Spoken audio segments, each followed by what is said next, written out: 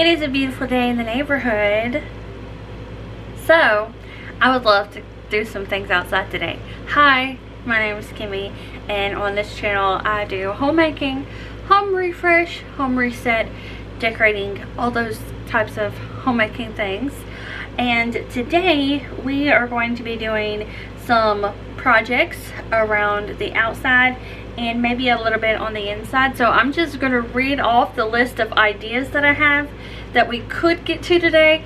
I don't know that we're going to get to all of them, but it is such a pretty day outside. We just had basically two days of rain and then yesterday we had a storm. We're fine. I've got some boxes that kind of blown everywhere in the yard, so I need to get those. But other than needing to clean up the yard a little bit, we're good here. So hopefully y'all made it through too. I know it was pretty rough in some areas, so hopefully you're all good. But we have some oval shaped or, yeah, raised beds that we can put together. Um, I, I could try to work on this door frame behind me. It is, um, sometimes it gets water in it if it rains really heavy, so it has created a little bit of mold so it would be really nice if I could get that taken care of um, it's not something I'm skilled in so that's why I'm putting it off but I just need to get in there and do it. So maybe we'll get to that today I don't know. Um, I have a steering wheel cover I need to put on the steering wheel. Clean up the boxes in the yard that is top priority.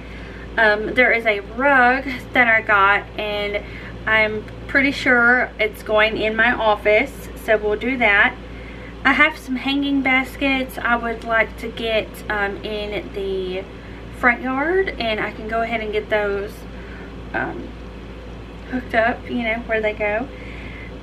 I have some floor vents that need to be sanded and repainted because they are rusty and just honestly probably dangerous to walk on. So uh, well we don't really walk on them but you know what I mean. Want to get that done. That's something I would really like to do today we do have a shelf that we can build and then also I need to donate that dress that I decluttered and there's already two or three bags of stuff in the back of my car so Aaron and I are actually about to go somewhere and when we do that I'll just go ahead and donate donate those things. Why do I want to say donate? Also, I want to have more balance in my work and I definitely get stuck in this like hustle mentality where I feel like everything needs to be fast. Um, so today we're going to try something a little bit different and we're going to just go with the flow kind of just go at a, a normal, healthy pace. and um, have more like real-time footage in this video. So like what we're doing right now. Not as much sped up, like boom, boom, boom, that kind of thing. So we'll see how it goes. Give me your feedback down below. Let me know if you if you like this version better or you want to see this more often included with the rest that we normally do, I would love to hear it from you. So, long list of things. Odds are we're going to get three things done. Alright, so the first thing I'm doing is putting this steering wheel cover on the steering wheel. I don't know how easy or difficult this is going to be. Let's hope that I can get it on. Let's get it on. Ah, let's get it on. Oh, by myself and not have to recruit Aaron. All by myself. I'm gonna be. okay, I'll stop. But I never even thought to like do this um, as a way to like protect your steering wheel from the sun. And ours is black, so it, it attracts the sun, the heat, absorbs all that heat. Okay.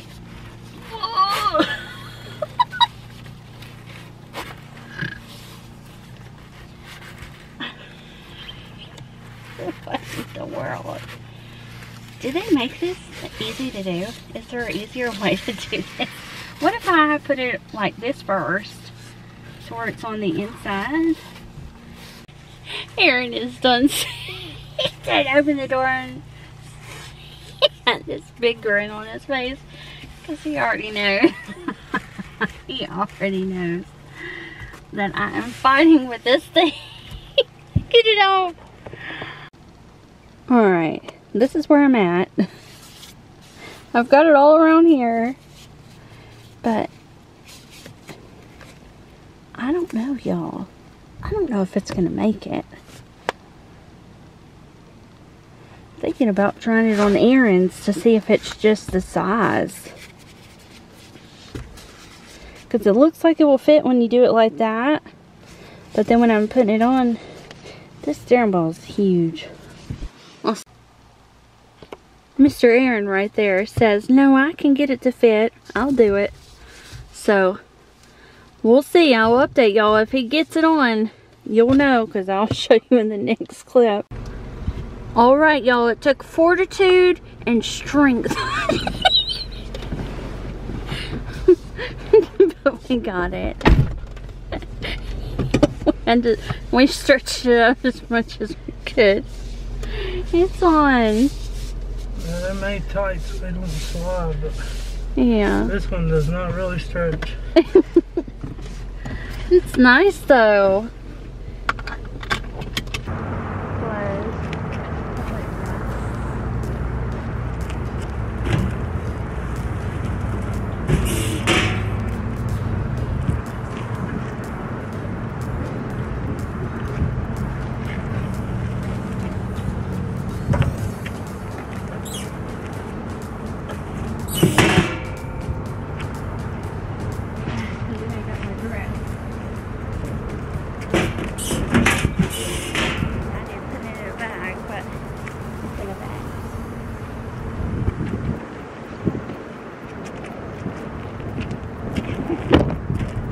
Will like it.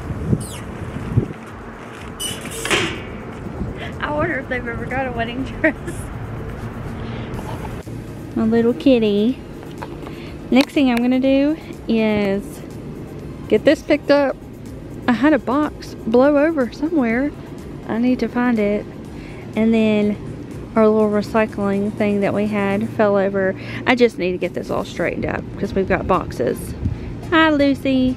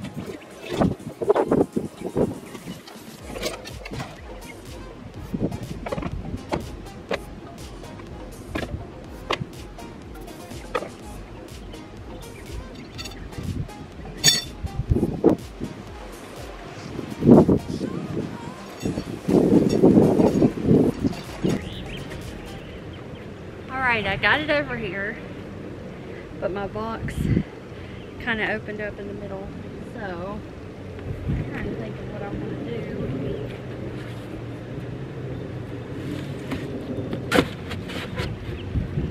I'm just going to start transferring stuff to the box that are still dry. This one's been outside, so it's wet.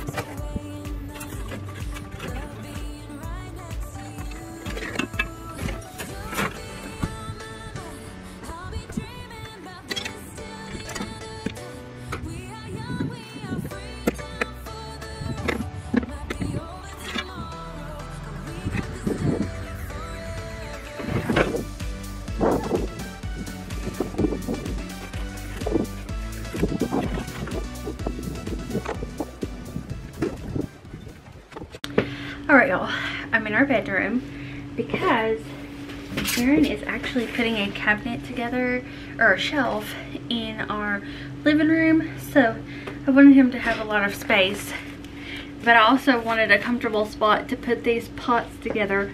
I cannot wait to put them together so I can show y'all what they're gonna look like. So I'm gonna go ahead and do this. I'm gonna get them unpackaged and then I'm gonna start building them.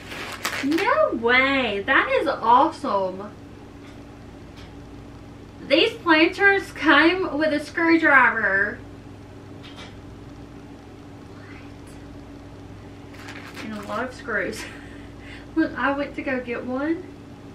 And now I have another one. So I'm going to use the one it came with. Okay, y'all. They also came with a pair of gloves. I don't know if I'm going to wear the gloves but they do come with them. Oh, looks so good. We recently built raised beds that are like circles They're really big and white and this is basically the same thing but a smaller size and that's also the same thing um, I may build later on today are those like longer more oval shaped I guess? Oh by the way I can just like talk to y'all while I'm doing this instead of speeding it up um, because I do have some ideas.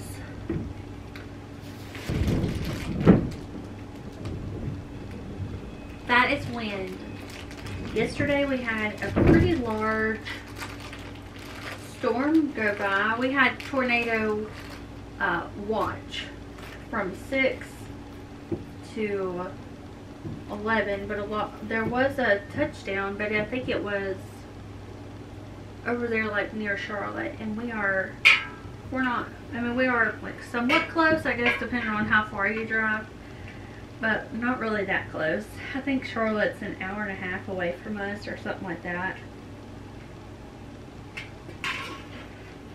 I like this one because it comes the the nuts that you put on the inside come with like basically looks like wings that you can just twist around.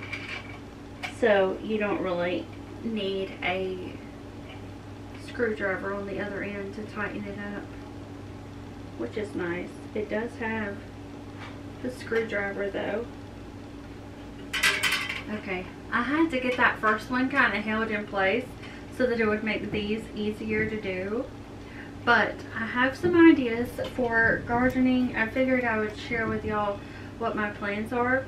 So I have two of those big circle raised beds that I can put things like bell pepper in, um, what else? I also thought about doing strawberries because I like strawberries and those beds would be perfect for that. Um, squash, zucchini would be great in those. And then also the longer ones I thought would be great for my tomatoes.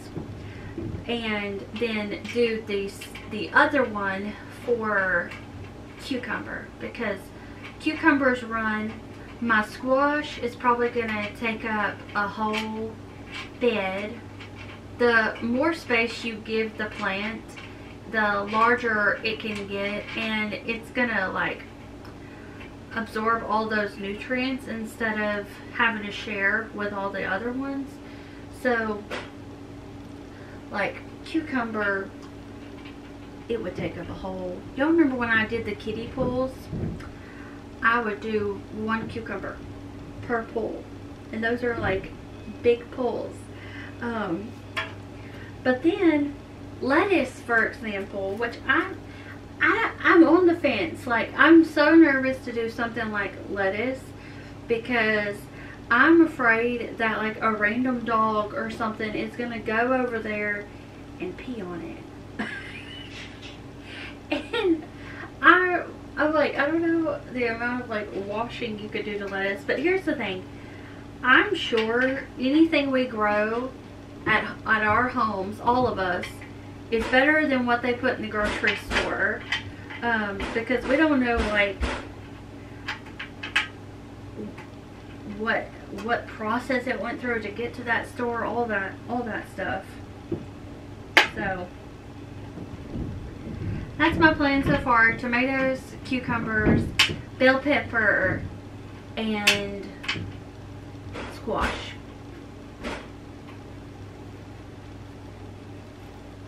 Okay, the other thing I wanted to mention y'all is a lot of you have suggested doing perennials like hostas and things like that, which I love a hosta.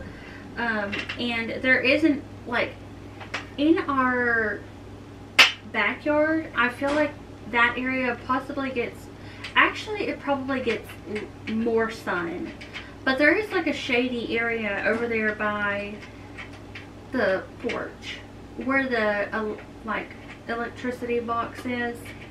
So I have had hostas there before and I really do like them. So I do like that idea.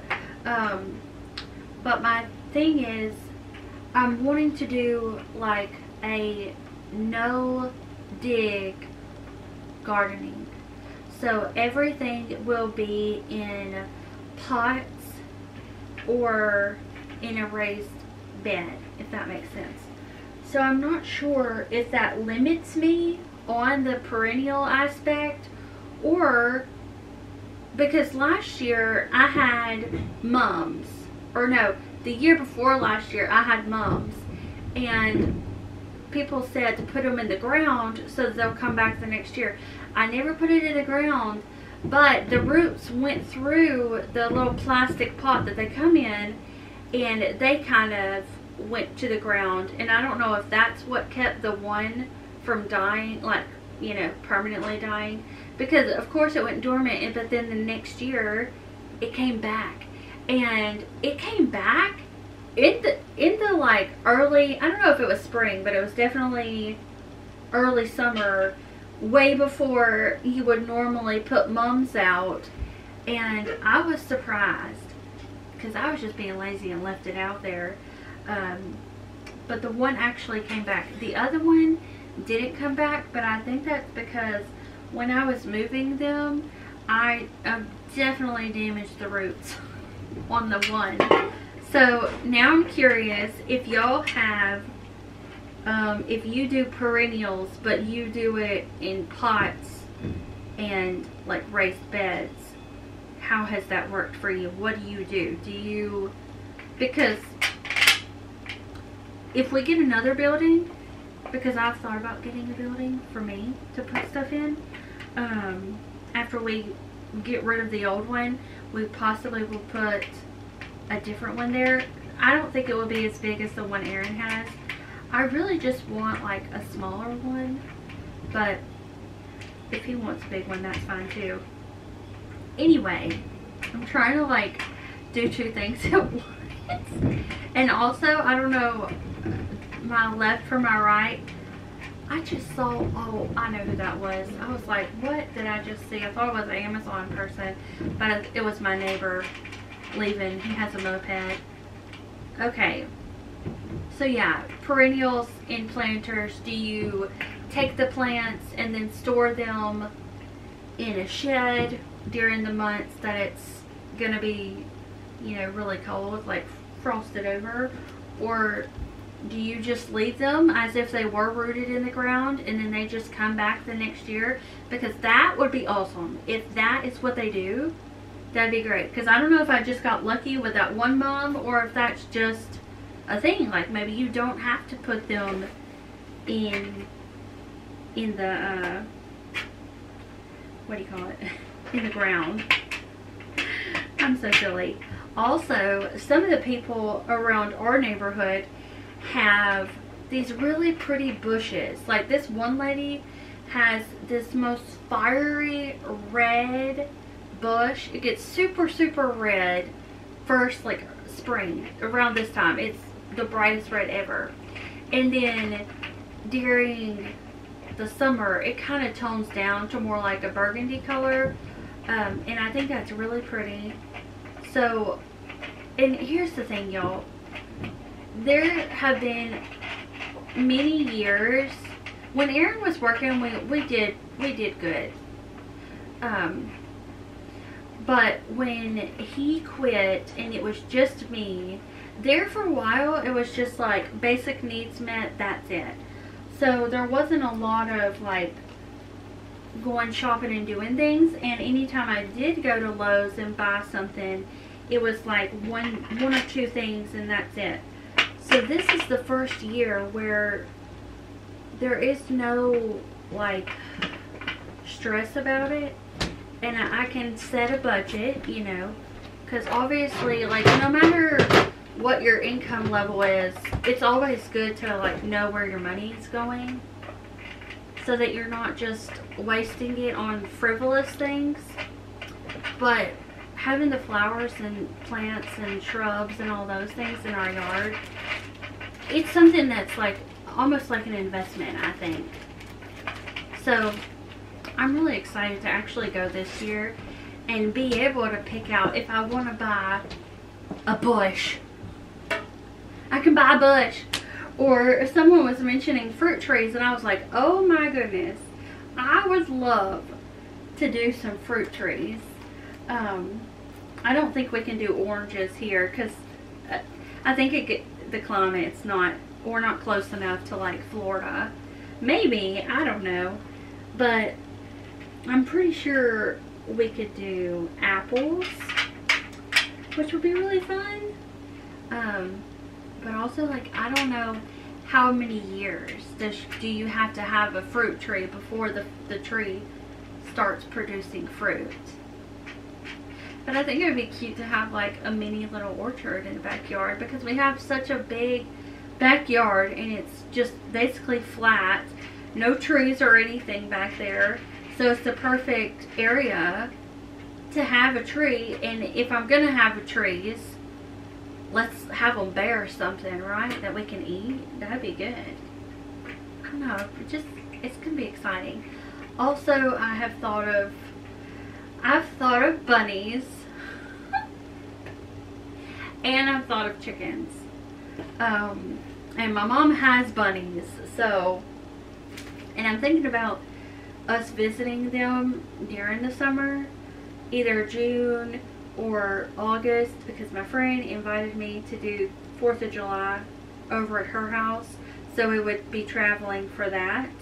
Um, so I don't know if if it's like too close together to because I told my mom maybe like June so I either do June or August for my mom and then July for the 4th of July which we were also talking about when are you gonna decorate for the patriotic stuff?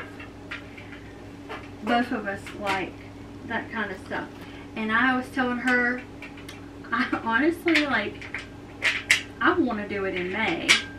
Y'all know, if you've been here for a while, oh my goodness, I normally do our 4th of July stuff maybe like June because I always decorate for summer in May.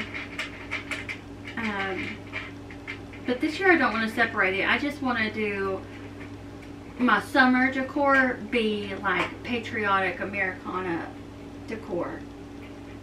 So, I'm excited. Okay, to recap, and I'm going to do the rest of this off camera. That way we're not just sitting here forever. Um, can you do perennials in pots without putting them in the ground? Because I don't want to dig. And if so, do you have to store them on the off season or can they just stay? Would love to know. Alright y'all, garden beds are done, or flowers. I'm to put flowers in here. And since these are so big, I can put so many different varieties of flowers. They're to look so, so pretty. Um, I think I'm to go ahead and just sit them out there. Uh, because I have an idea of where I want to put them anyways. Oh yeah. Okay, so I'm going to have these here. And I am going to get more bricks. But I am just going to, like I have it circular like that. I'm going to like take this one and move it a little bit more to where it just goes like a diagonal straight that way so we'll have a little bit more space through here but I like this. Obviously I'll spread this stuff out more and everything. But see how that one's going to there and not like straight straight this way. It's going out that way a little bit more. So I'll just get some more bricks for that. And um I have some planters also that hang um, that are also green that will be in this area too. But my original idea was to take the bricks and go all the way over there. But I think for this year, it, I'll just I'll just kind of do it in chunks, and then next season I'll just extend it, you know. Also, here's our little thing. I'm going to put plants in that too and I'm gonna paint this a fun color. I like the idea of the teal color, like a really fun, bright blue color. So once the shed's gone, I can put our garden right here because um, a lot of this is already kind of dead from where the lawnmowers and stuff were over here. Or, okay, where that trailer is, which all that stuff's gonna be in the dumpster in a couple of weeks. Um, this is where I've had it before, my garden, so we'll figure it out. But that, all that grass is kind of already grown up now, so I don't know. I may put it where this shed is. And our water, our water hose is right over there. Alright, this is the shelf I was talking about that Aaron was putting together. Looks good. Can't wait to see what he does with it. Um, he can use it to put, he, he's probably either going to put it in the office where all of our um, project stuff is and put some of that stuff on here, like our paints and everything. Or um, he could put this in the shed and put some of his stuff on there. Hi! It's time to feed all of the animals. And then I've got to cook dinner for us too. Aaron has been working on the building. Uh, he got this shed, uh, the shed in here. He got this shelf in here. Um, all of his stuffs are on those shelves. And then he's got that stuff over there. Um, he's still working on this right here, but um, he's got music on in the background. But this is a, what we call a working shed. So I know some people use sheds and just kind of use it as a storage room. So they just kind of use all the square footage of the shed they can. But with this, Aaron wants to be able to move around in here, like have some space to sit down and do stuff. So that's why we leave all of this open and we just use the stuff on the sides. But I love that we have this shelf in here now because it frees up even more floor space for him and he can put stuff on the shelf. Alright y'all, it is after 7 o'clock. That's why it's getting dark. Um, I'm about to go put this rug in the office. Alright, here it is. Look how pretty. Love the pink. I also like how the brown tones in here match our floor. I had a piece of paper on the floor. That's nice. So it's like an oval shape. Oh, I gotta go change my battery. So I've just got it being held down to kind of get the little rolls out of it.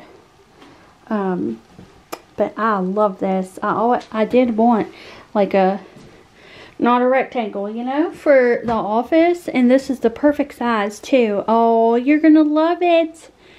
The girls are all three of them are in here whenever I am editing, and it it takes me a few hours in this room, so they always like to get cozy in here with me. Fun! I did see it's from rugs.com. I'll link it. Uh, I'll link it in the description box.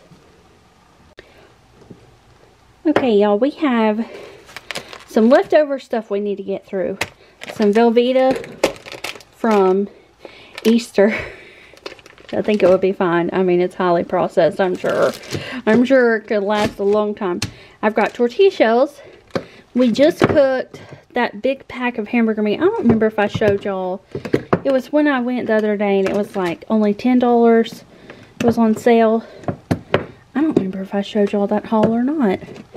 But we have this left over. So what I'm going to do is heat up the Velveeta, mix it with our meat in a bowl, and then put them in the tortilla shells with, and then mix some salsa in there too. My friend Megan was saying uh, she does the Velveeta with the meat too. So I figured, hey, that's a good idea. Let's do it. Oh, it just does not do it justice. It's actually pink over there, like hot pink. And I'm like, God loves color too, doesn't he? color everywhere. I promise I'll hush about that. Okay. I'm just I had to melt the, the cheese a little bit so I could mix it in these. I thought, why would I get a big bowl when I can just use the glass dishes they come in?